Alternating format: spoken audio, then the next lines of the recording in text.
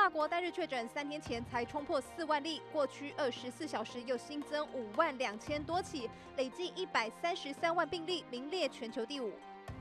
英国疫情没有趋缓迹象，上周达到二点六万例新高，二十六号再添一万九千多人染病。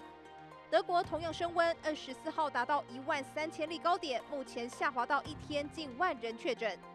西班牙上周连续三天刷新确诊记录，二十五号起实施全国宵禁，周末数据暂停更新。美国确诊人数连两天创新高，二十六号终于下降到六万人出头，累计病例来到八百八十八万。亚洲部分，印度曲线持续下行，最新通报四万五千例，接近上周低点。马来西亚疫情迅速扩大，但比前一天一千两百多人新高，二十六号确诊数降到八百多人。